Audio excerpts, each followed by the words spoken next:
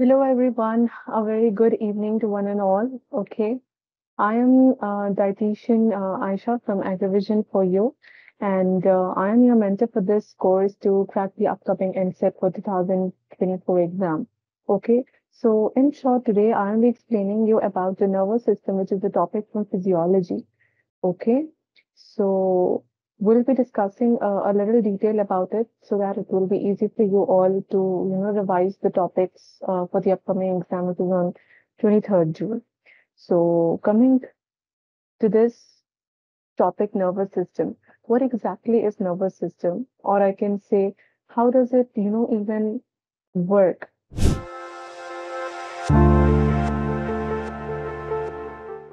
What exactly is its role? What are all the classifications and what are all the hormones that are involved in it to secrete and stuff? We'll be discussing about this in detail. Okay we all know uh, the nervous system, the main thing, right? It controls the activities of the body. It is the center head, I can say, and it is, you know, very quick in action uh, than other control system in the body, which we usually consider as an endocrine system in the body. Even that more faster than that, it does its work, right? And nervous system is the chief uh, you know, controlling and coordinating system for you all. All right. Remember that it is the chief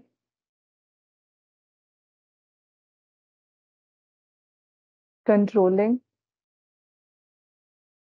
and coordinating system of our body.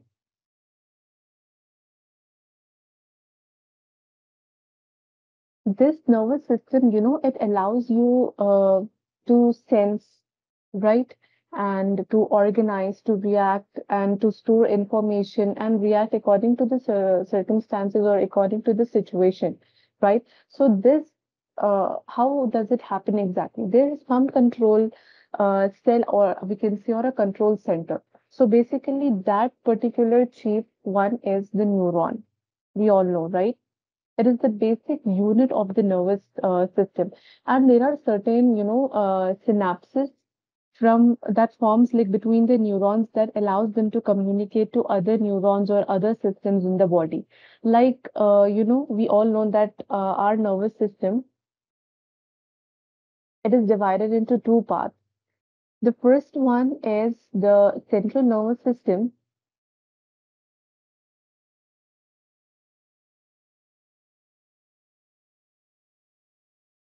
and the other one is the peripheral nervous system, right? The general flow of information is that the peripheral nervous uh, system takes in information through the sensory neurons. Then it sends it to the central nervous system to be processed. Okay.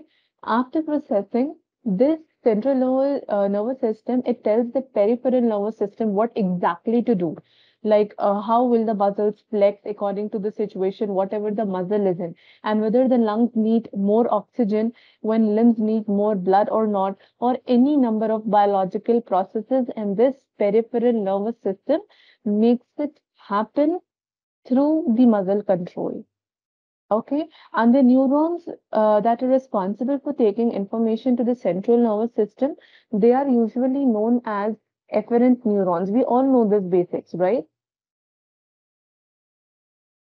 While the neurons that actually carry the responses from the central nervous system to the peripheral nervous system for the further action and you know reaction for us to respond is known as efferent neurons right and i have also told you uh, what are the functions of the nervous system in detail, like already what we have discussed in our classes, right? The three main functions, that is the sensory, the integration, and the motor one. So sensory, its main function is to collect the information. Integration, you know, to process of uh, the sensory signals, right? And integration also takes place in the gray matter of the brain and the spinal cord and is usually performed by the interneurons. Then I have also told you about what exactly motor work does, right? Um, the effector neurons, which are which is actually known as motor neurons, how it carries signals uh, from the gray matter to the central nervous system through the nerves and all, uh, from the peripheral nervous system to the effector cells, how it will be smooth, whether it is cardiac or skeletal muscle tissue or any kind of glandular tissue, all that things we have discussed. I have also explained in detail about uh, the human nervous system that is actually classified into the central and the peripheral, right? But this peripheral is again uh, divided into two types the somatic nervous system and the autonomic nervous system. Then autonomic is again divided into sympathetic motor neuron and parasympathetic motor neuron. We have already discussed about all these things in detail and again we'll be discussing about it in, you know, uh, the crash course which is going to be start like about to start very soon. I have explained in detail about the difference between the sympathetic and the parasympathetic neurons through through this picture and you know about all the functions and details again. This is our, you know, the main control center, I can say, the human brain, right? It is usually found in the cranial cavity. We all know this. It consists of cerebrum, cerebellum, and the medulla oblongata, right? And uh, it actually houses the nerve centers. You know, it is responsible for usually coordinating the sensory and the motor systems in the body. So there are uh, many parts of not many parts actually. There are certain uh, major three parts of the brain, which is we all know forebrain. And then we have midbrain, we have hindbrain, right? Then we have discussed about all the lobes, how first of all the brain is divided into certain hemispheres and then each hemisphere has four sections, those lobes, frontal lobe, parietal lobe, occipital lobe and temporal lobe, right? All, uh, all these things we have discussed in detail. I have also explained in detail about the reflex action. We all know what exactly a reflex action is, right? Um, it is a way for the body to automatically, or you can say rapidly respond to a stimulus to minimize any further damage to the body. Okay, I have uh, also explained how exactly um, you know the signals pass on from the receptor and how actually a person gives response. I have told you what are all the organs that are involved and what is that major thing that is not involved, right?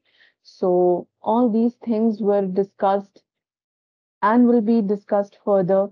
And I'll be also explaining you, you know, about uh, the neurons and all, and again in detail, like all the important points that is actually very important, right?